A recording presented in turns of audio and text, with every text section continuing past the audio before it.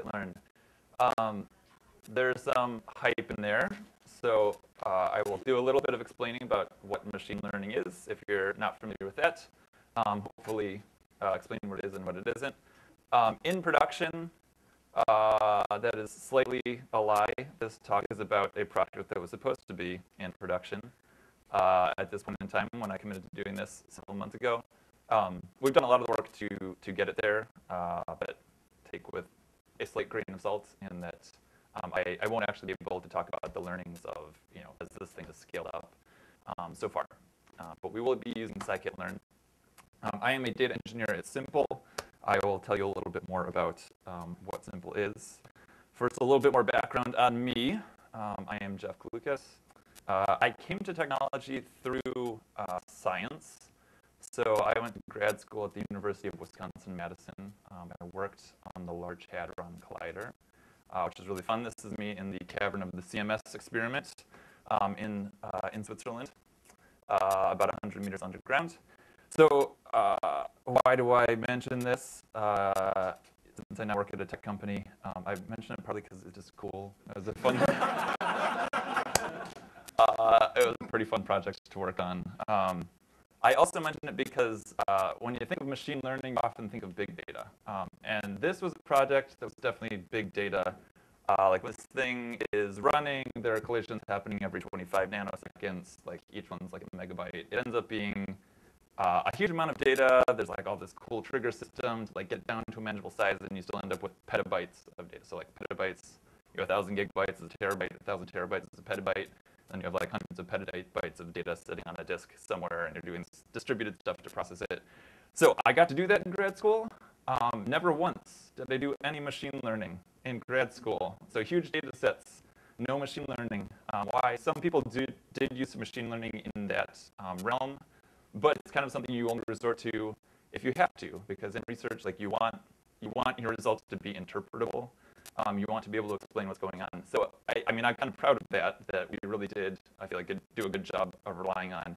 If you can make a plot and say, I cut out everything below this line on this plot, that is understandable. And like those were the kinds of papers that we were writing. So lots of data, but you know, making these very like interpretable things um, on top of it. Whereas machine learning, you're kind of handing data over to a black box. And then you say, like, what did it do in that black box? And you can talk about algorithms and you can talk about linear algebra, um, but it's a lot, there's a lot more context you need to know. And in the end, um, there are a lot of details that are harder to reproduce. So these are reasons why you might not want to use machine learning for a problem.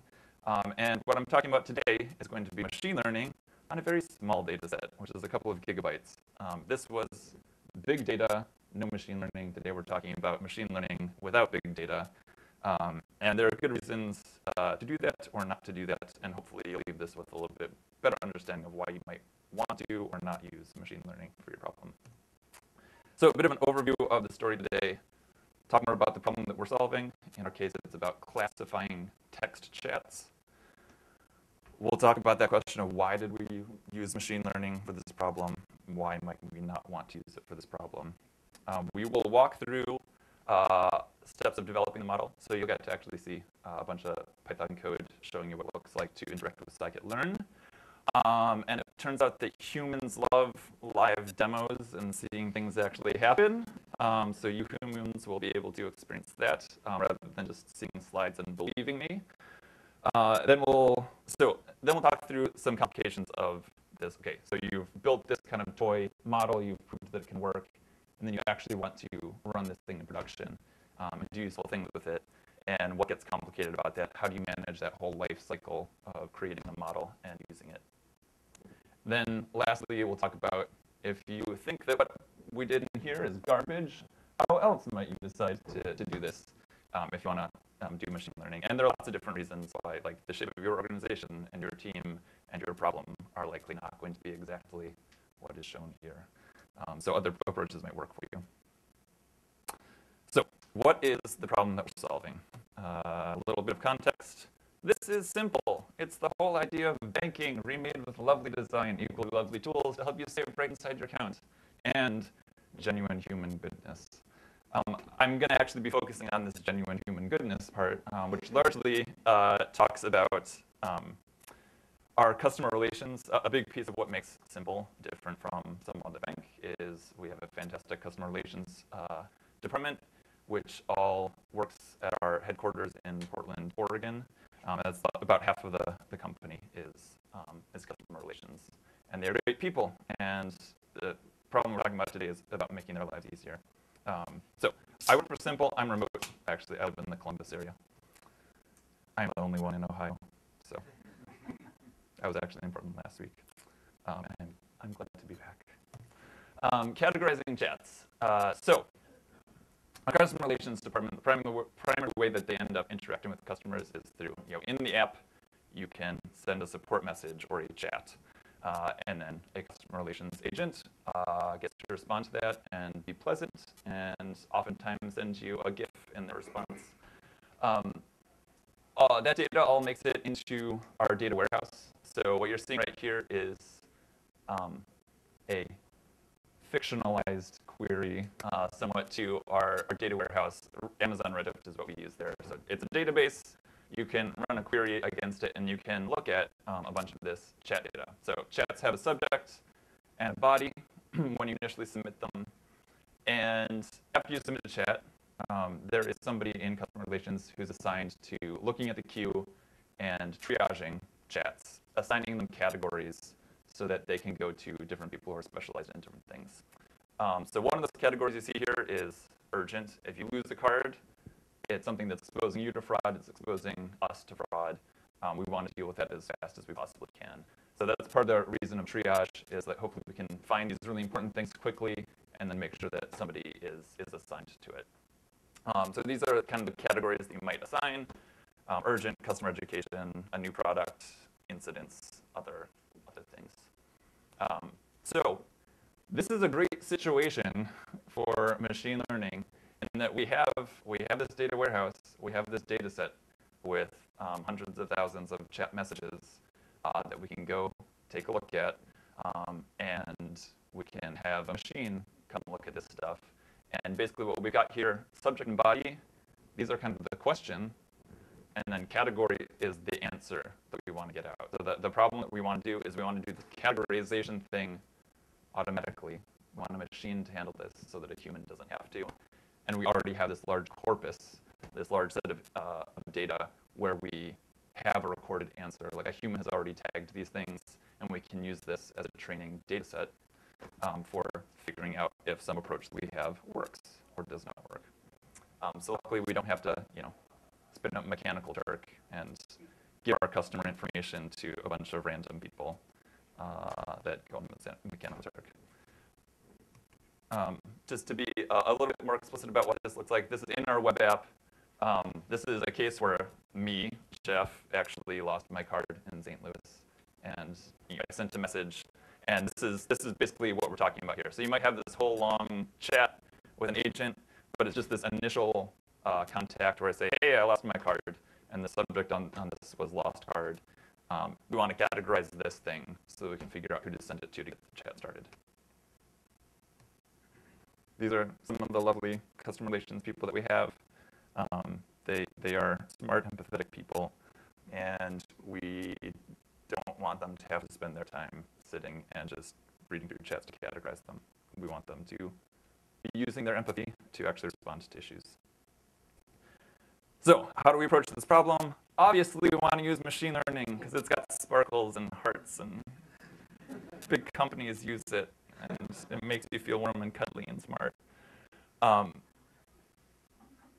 those are bad reasons to use machine learning. Um, like I said before, you do sacrifice a lot of interpretability. So uh, if I tell you that I want to use machine learning with this problem, your first question me might be, couldn't we do something else? And you can imagine you know, things we could do. We could write some simple rules of like, we just have like an if the subject contains lost card, maybe this is something we want to treat urgently. And you could imagine totally solving this and just like having kind of a list of rules um, that some human is you know, coming up with. Um, and that would be a good, great first pass. Uh, see if that works for you. If that works, then please do that instead of um, doing machine learning. there are a couple of reasons uh, why you might want to do this. If you if you try to do that, but like there's still a whole lot of cases that you aren't catching, um, there are there's a good chance that machine learning is going to allow you to get farther in terms of optimizing the you know, accuracy and scope of that. It can get very hairy to maintain a rule set like that. Um, in our case, we have a data science department that wants to own that, like figuring out how do we categorize chats. And then we have you know engineering that is actually you know taking those rules and putting them into production. And we've had a couple of cases where we've tried to do some simple rules, and it ended up being very difficult to like keep that communication going of like do the data scientists like go in and change the service code. Um, and machine learning, one of the nice things is that you can create a model artifact that then is something that's very easy for engineers to say, you know, then like take that artifact and put it in and kind of this thing that data scientists can create something that gets plugged into another service. In our case, um, we get to use a bunch of natural language processing techniques, um, which like this is a, a, whole field of research. Um, and it's something that scikit-learn, for example, has great support for. So one reason going down this path was nice is that you get to piggyback on a lot of these things that are already existing for the kind of problem that we want to look at. Um, and management wanted us to use machine learning. um, and it, that's something, you know, there is some validity in that, in that like our data science organization has uh, has greater ambitions as to like the ways that they want to do this, and we want to take a small, understandable question to really prove what this whole workflow looks like. Um, so implementing this is hopefully the first step towards having infrastructure to be able to tackle other um, problems with machine learning in the future um, and do exciting new things. So if you are in my shoes and you are an engineer uh, who has never implemented a machine learning uh, problem, and you're talking to data scientists and like, we want to do this in Python, we think, and we're using some scikit-learn, um, what would you do? Uh, you would go to the scikit-learn documentation and you would try to figure out what on earth is going on. Uh, so this is, I'm going to kind of walk through my journey of understanding stuff. So scikit-learn's documentation, it's actually, it's pretty great. There's some good stuff in there. Um, I recommend you check it out. So if you go to the front page, you go up to the documentation tab, uh, you'll get to the user guide, and it's actually got this really fantastic just first paragraph uh, section about what even is machine learning. Um, so I'm just going to give you a little bit of a highlight here. It says a machine learning problem consists of a set of n samples of data and then tries to, sorry, yeah, it considers a set of n samples of data and then tries to predict properties of unknown data. Okay. If each sample is a singular number and, for instance, a multidimensional entry, it is said to have several attributes or features. So in, our case, we have a data set with two features. There's a body of the message and there's a subject on the message. So we have two features to feed in, and then we want to get some answer out of a classification. There are generally two types of machine learning problems. There's supervised learning and there's unsupervised learning. Unsupervised learning uh, is in the case where you don't have the answers already. So if you didn't have them already classified, um, this is things like clustering. So you can imagine like taking all of those, those chats and just saying like, hey, algorithm, try to figure out some things that look similar to each other. And maybe that would be useful for even getting a sense of what categories might want I want to have. And you could like take a look at those clusters. What's in common of those? Oh, it looks like lost card things are you know a category that I might want to consider. Um, that's not what we're doing. We are doing supervised learning, and in particular, we're doing classification. So we already have a data set where we have some inputs, and what should the classification be? We're going to learn based, you know, we're going to train on that data set, and then we are going to um, spit out a model that's able to take in new inputs and predict a classification for it. Okay, now we get into the fun stuff, the code. Uh, this first slide kind of lays out uh, the whole thing, so be prepared. Uh, we're jumping into scikit-learn. Um, in particular, we are creating a pipeline. So this is, this is one, one of my favorite things about scikit-learn is it has this whole API with lots of bits and pieces, uh, but it provides this nice um, kind of wrapper of you can define a pipeline with a whole bunch of steps of how do I want to process my data, and then finally apply a classifier to it.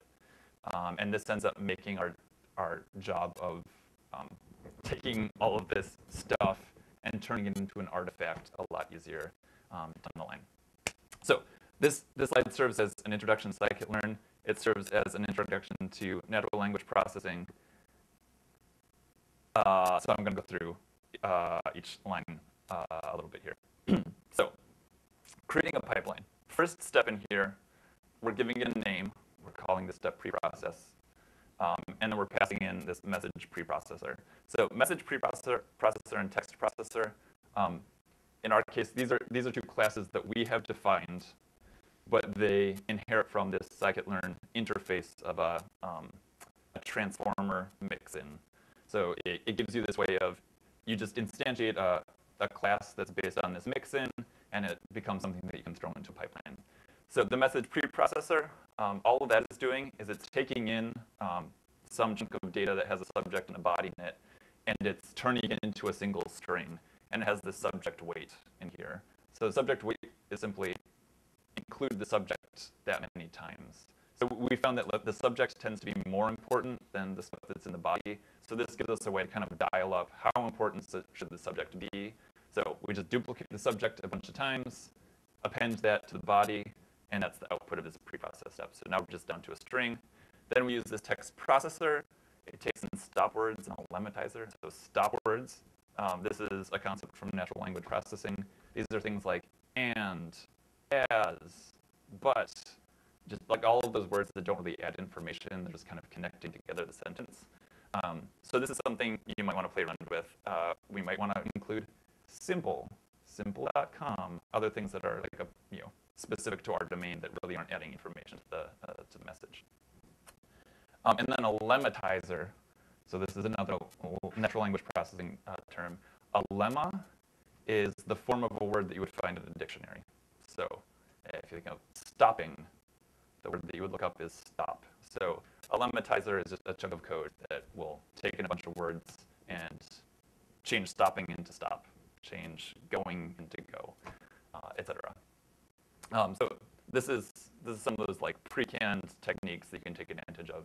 Um, you can find lots of documentation on that. So this is cleaning it up. Um, next step is a count vectorizer and this term frequency transformer. These these are just progressively going away from like we had text at this point, and now we're just kind of creating this mathematical glob uh, that is easier for an algorithm to understand. Um, so I'm not going to go into what those things are specifically. And then finally, uh, now that we have this nice mathematical form of the data, uh, we've turned it into this you know, count of words, and it's transformed. Then we throw it into this classifier. It's a gradient boosted classifier. Don't ask me about the specifics of gradient boosted classifiers. Uh, one of the data scientists just this. Okay, so, so this is the this is the whole pipeline. Um, all the steps that our data is going to go through. Yeah, question. Correct, yeah. Great question. So one of the great things about scikit-learn is that it has become this, uh, you know, it's kind of a cornerstone of if you want to do machine learning in Python, um, but it doesn't have to stand on its own, and a lot of other packages um, you know, provide wrappers that make it easy to plug things into scikit-learn. So yes, um, yeah, XGBoost is a separate package, uh, but it provides a nice wrapper, and you can just throw it into a scikit-learn pipeline like this. And uh, yeah, feel free to ask questions as we go through. Any other questions at the moment? Uh, it does come with its own classifiers. Yep. How, so yeah, this, I mean, this pipeline object gets, know, it, like this is literally a list that we're passing in here to the pipeline object. So it, it holds all this stuff, and then you'll see in the next slide, like how it, how we pass data into this whole thing. Yeah, one last question here. Um, quick question about scikit-learn. Yep. Uh, is it based in part on the natural language toolkit, or does it have its own implementation of that kind of functionality? Uh, is Natural Language Toolkit a specific library? package. Oh, it, it, NLTK, is that what that is? Yeah, Uh, we, we, I have no idea the overlap there. I think that we are using NLTK in some of the stuff that we are doing here. I can't remember the specifics of whether, you know, what's built in and what's not. All right. Um, so we have a pipeline. Let's actually do something with it.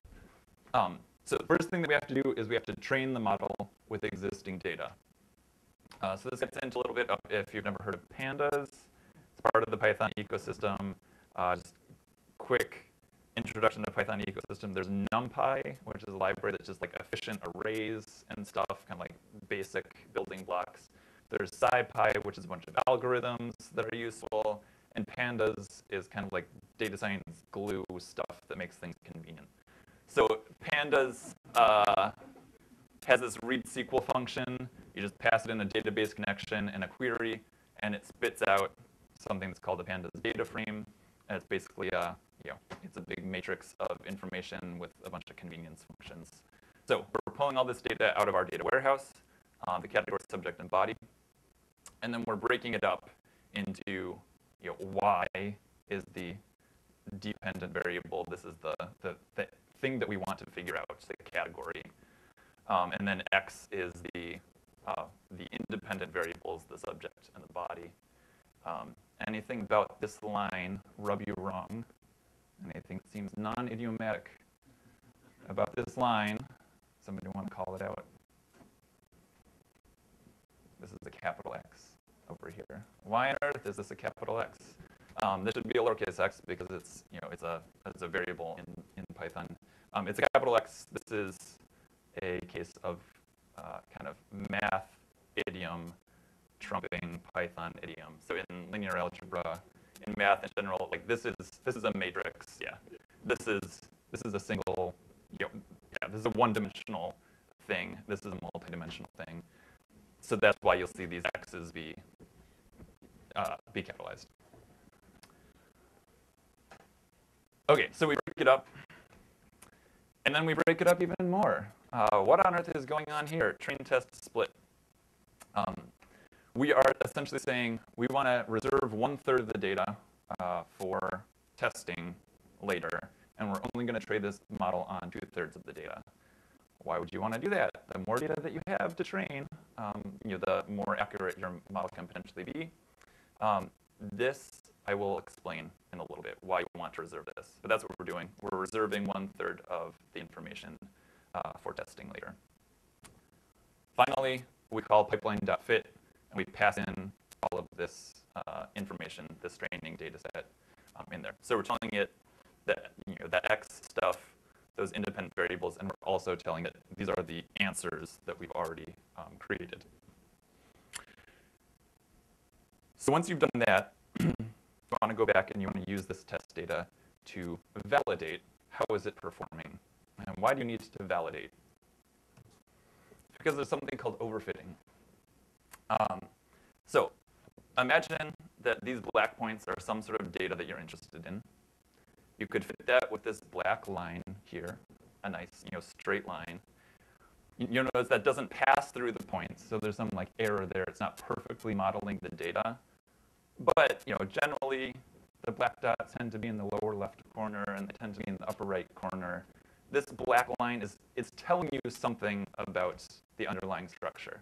This blue line perfectly fits the data. It hits every point. But if I take some more observations, do you think they are going to fall perfectly on that blue line? Probably not.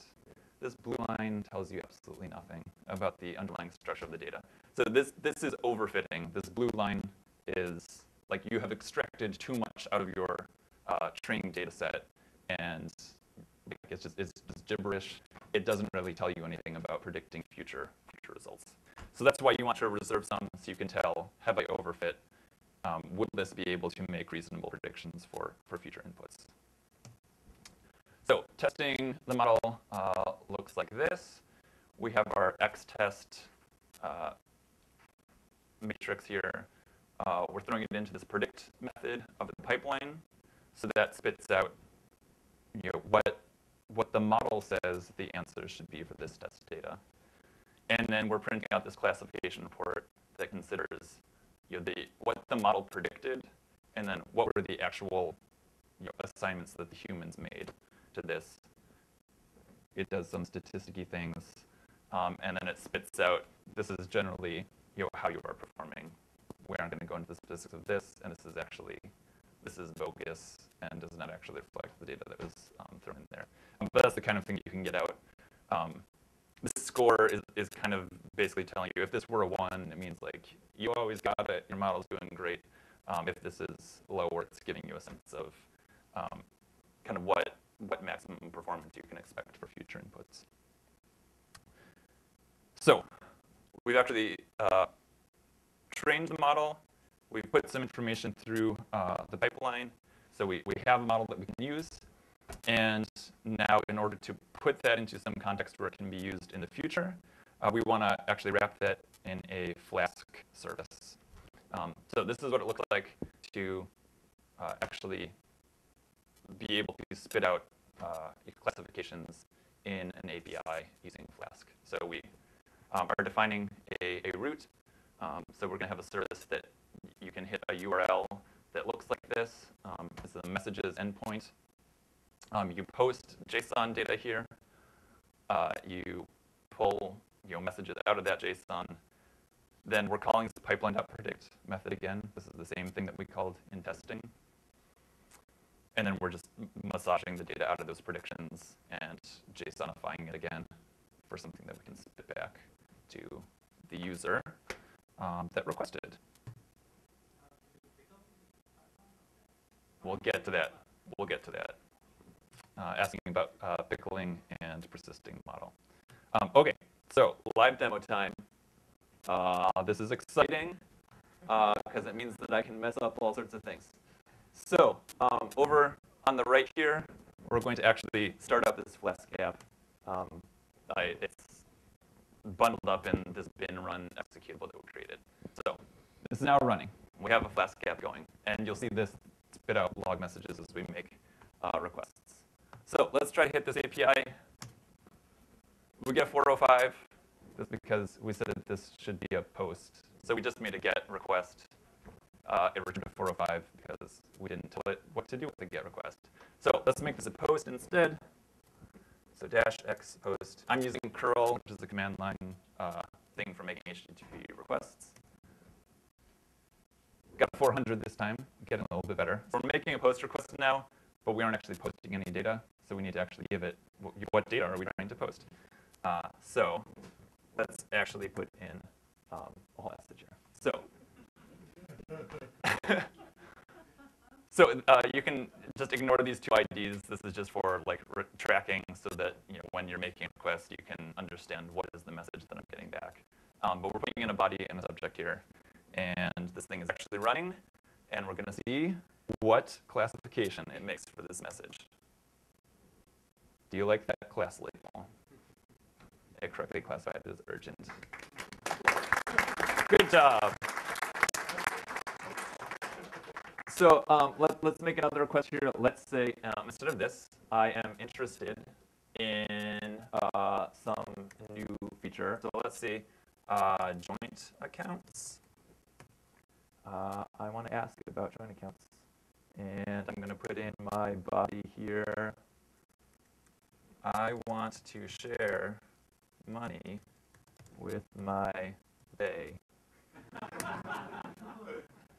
All right, that ended up being customer education. I think that I, uh, yeah. If you do slightly different, I want to share, let me see, share an account. Yeah, okay. I, I got this to say new product earlier. So you can tell here, this is not perfect.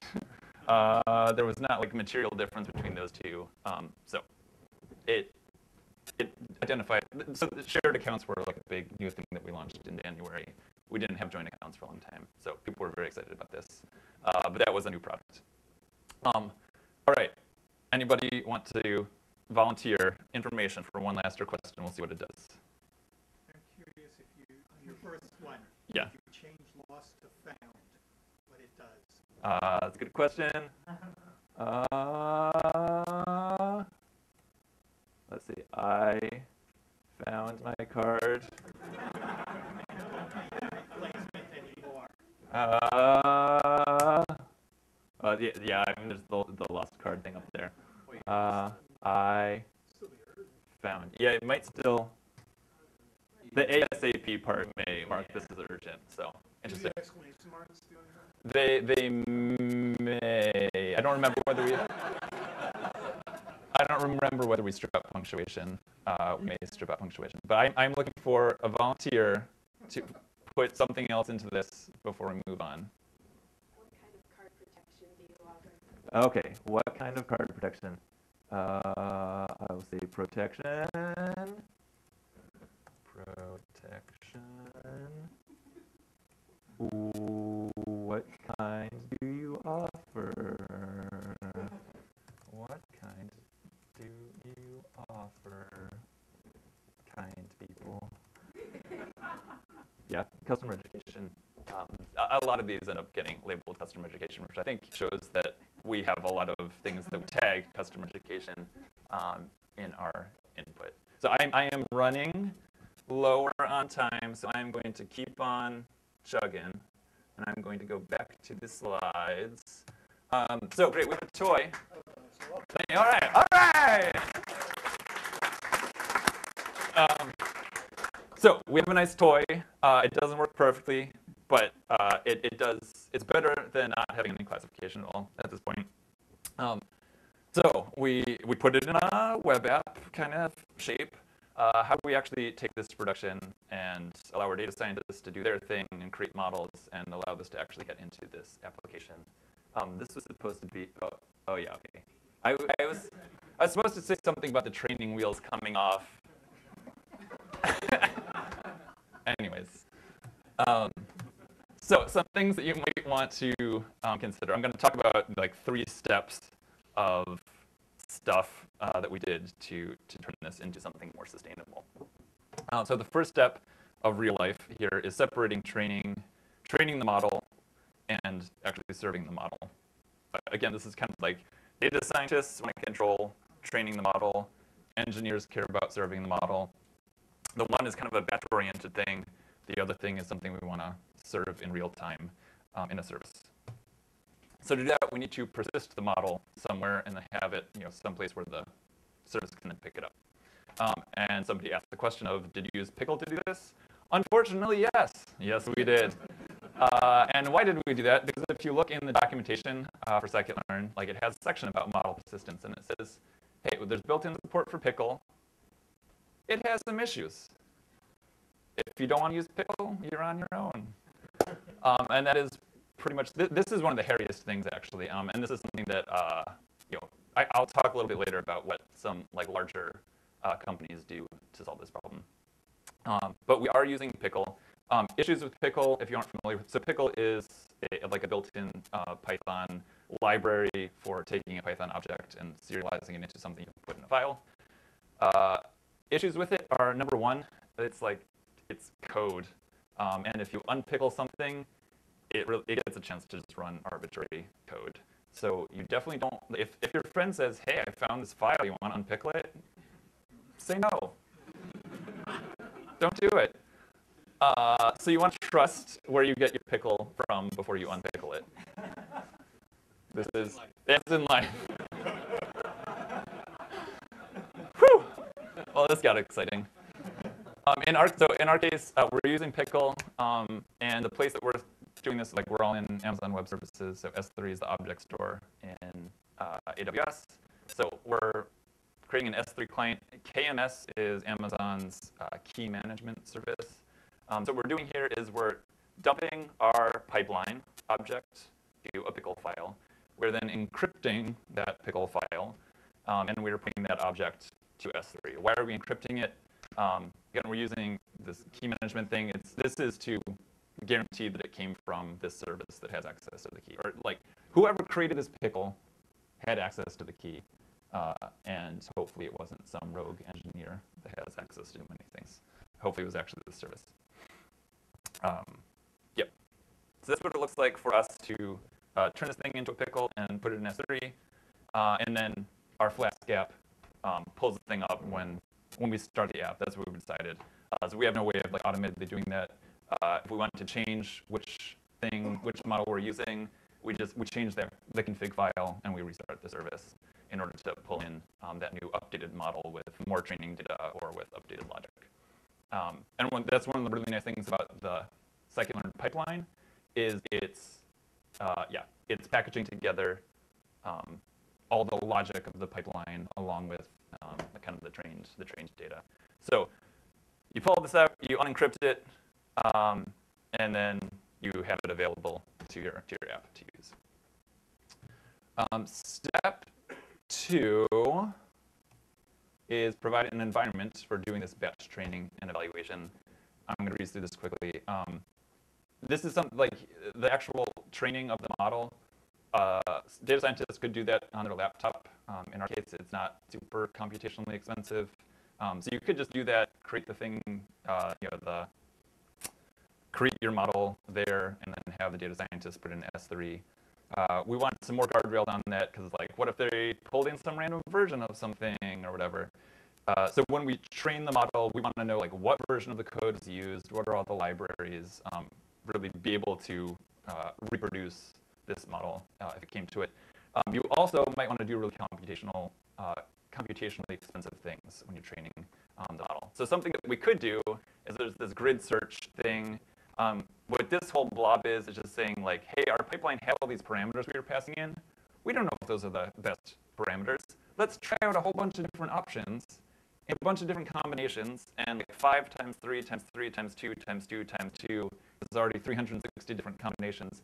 Let's just run this whole process to fit the model on each one of those combinations. Uh, and that's where you start being like, well, that's it would be nice to have an environment to just do all of that stuff and not do it on my laptop. Um, so that's something that you may want to consider. And step three is when you actually, you know, you have your app running, you know, how do you know if it's doing reasonable things? So you want to do kind of all the things that you would do with any other um, web service. You want to monitor the performance. Uh, you have to figure out how you adapt to production load if there are, you know, are there spikes? And when this happens, do we get pretty average consistent from the model? Um, pretty, pretty average performance from the model, or does that vary a lot? Um, how do you degrade gracefully if something goes terribly wrong? And you know, other applications that are now you're relying on getting these uh, predictions back don't get predictions back. Um, and as I said at the beginning, um, we really, I don't have a whole lot to say on this subject yet because we have not actually started relying on this yet. Um, so we have we have a toy. And we know that the general approach works, um, we shall see how it goes when we actually get this into um, into production and rely on it.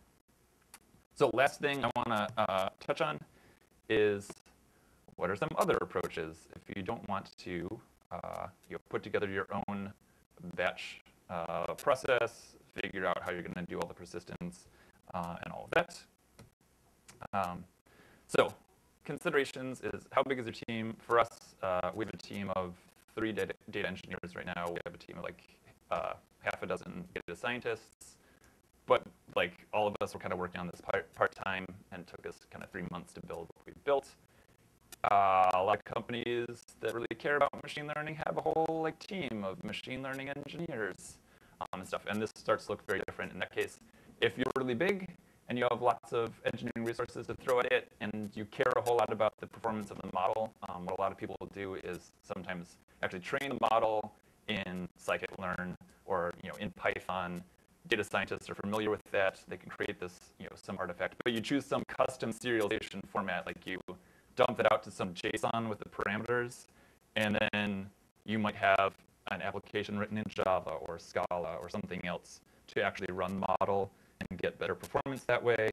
And you've kind of defined your own interface to get from one language to the other, and that takes a whole lot more effort than what we threw this. Um, so how large of a problem space do you need to cover? If you do that sort of thing that I just said of like defining your own custom serialization format between one and the other, uh, you you have to do that for every different kind of model that you want. So this is something where like right now we don't know what all kinds of models we might, want to use. So we wanted to focus on let's try to do something that we could adapt to like other stuff in scikit-learn. Um, and you know, we might want to you know spin off some completely different model. So it's kind of nice that right now we could do something that is significantly different from this natural language processing uh, problem and throw it in there. Uh, so those are some of the considerations you might think about. There are also companies that would love to take your money. Um, I don't know how legit any of these are, uh, but these are some of the ones that I found. Y, YHAT has a science ops platform.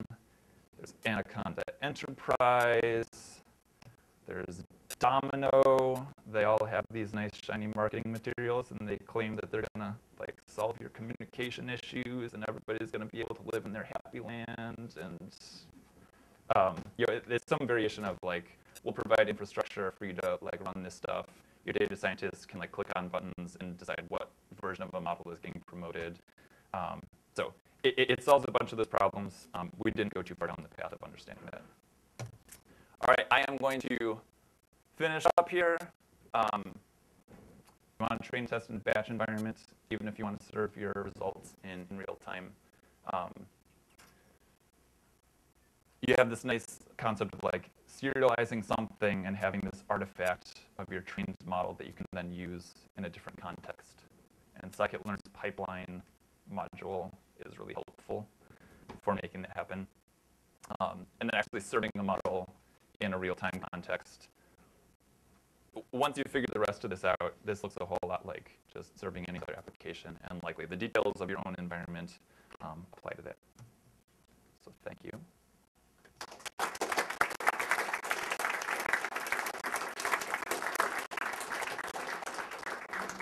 Um, and we have approximately eight minutes for questions. Um, I am on Twitter at Jeff Klukas. I have already posted these slides, uh, so you can see them on Twitter. Um, I will try to remember to post them in Slack, or if somebody would like to go ahead and post that link in Slack, that would be good. What questions do you have? Yeah, question here.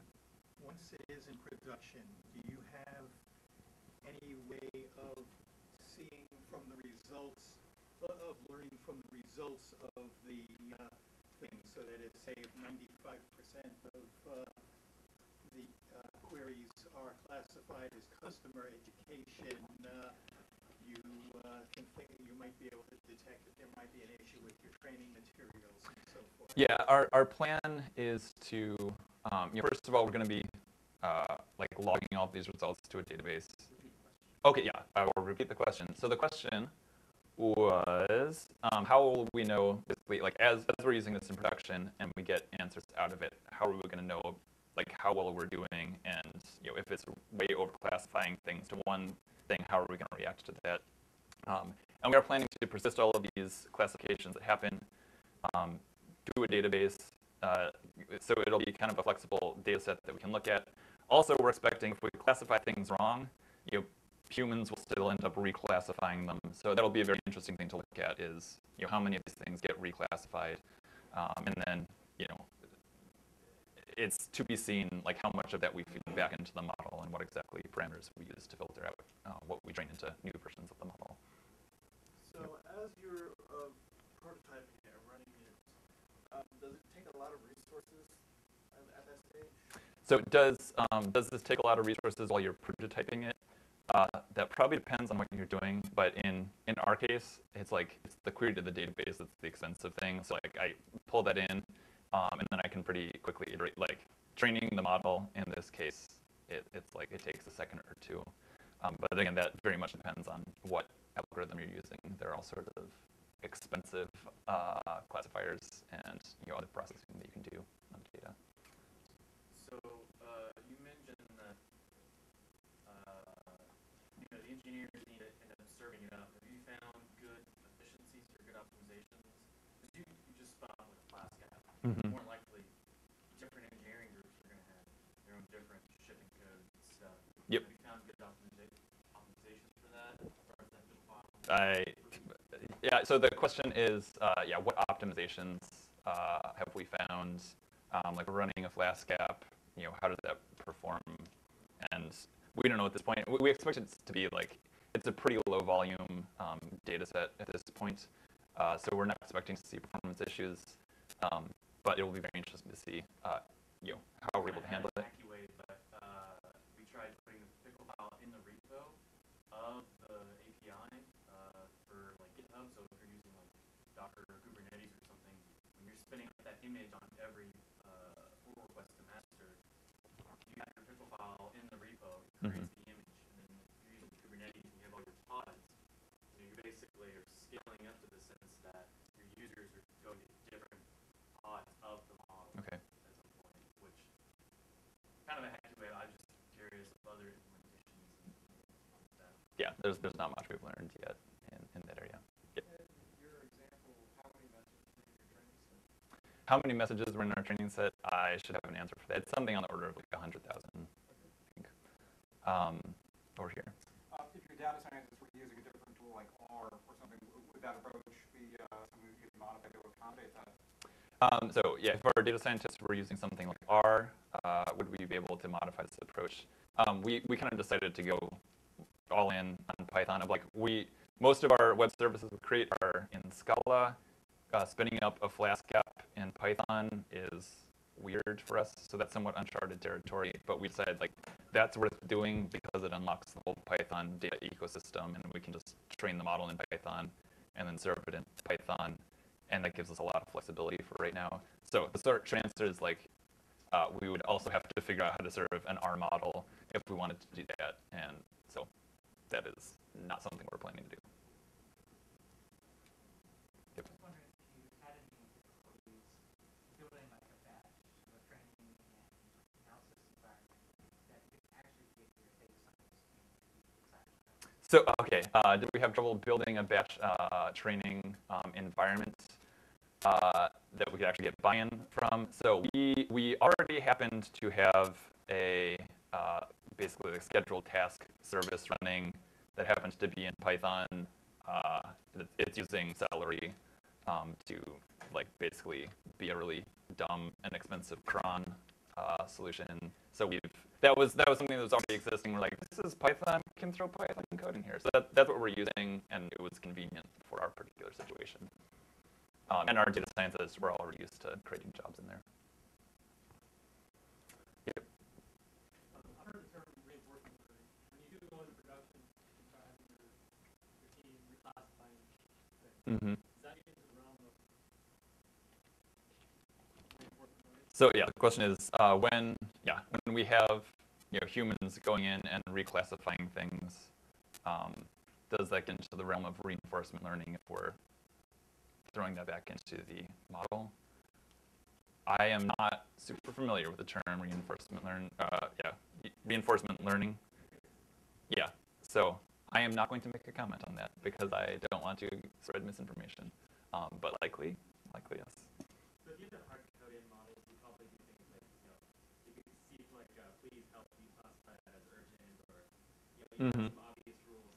Have you seen examples of where, you know, you, you want to use machine learning to go past those obvious rules and find exceptions? Like if someone says, please help me learn about this new product. Have you seen examples of when it, you know, manages to accept, successfully find those exceptions? Um, yeah. So yeah. So the question is about um, have you have you seen examples of where like you have kind of like a concept of please help, and is it able to find variants of that that you weren't you know that a human wasn't uh, anticipating? Um, I, I don't. Uh, yeah, not off the top of my head, but I mean, if, if you play around with this, like, yes, I mean that idea of like stemming words, like lemmatizing, um, all that, like it, it works, it works pretty well. Um, so, it, yeah, it, it's something worth playing around with. Um, all right, I will take one more question. Yep. I know you mentioned this in the beginning of the talk, so I apologize if you have to reiterate. Yep. Well, What is the, the goal, I guess, of all this? So you already have human beings classifying information. Yep. What are you hoping to get out of having a machine? Yeah, so so we already have a process for humans classifying these chats. What's the benefit of having a machine do this? Um, so it's it's two things. Um, you know, first of all, it's getting that workload off of a human, so it's um, a human that can go do something else. The- Um, I'm sorry, the yeah. workload though is Yeah. just like picking it from the drop down button, right? Yeah, so yeah, the workload is, I mean, the, the workload is reading through the message, understanding what it is, you know, picking, yeah, picking some category from a dropdown, um, and going through that. So, yeah, so it, it removes a human having to be dedicated to that task and being able to do what they are more, uh, you know, talented at doing. Um, it also reduces the amount of time to get to that classification. So even if you have like a triage system set up, maybe somebody's like going in once an hour and you know, working down you know, the list of new messages. Um, and with this, you know, as soon as a message comes in, uh, within seconds, it can have that first deb of classification. So then your people that are assigned to working urgent tickets, like those are immediately available in that queue. Um, so we're, we're hoping that it's going to bring down the mean time to resolution on those urgent issues. Thank you, everybody. I'm happy to answer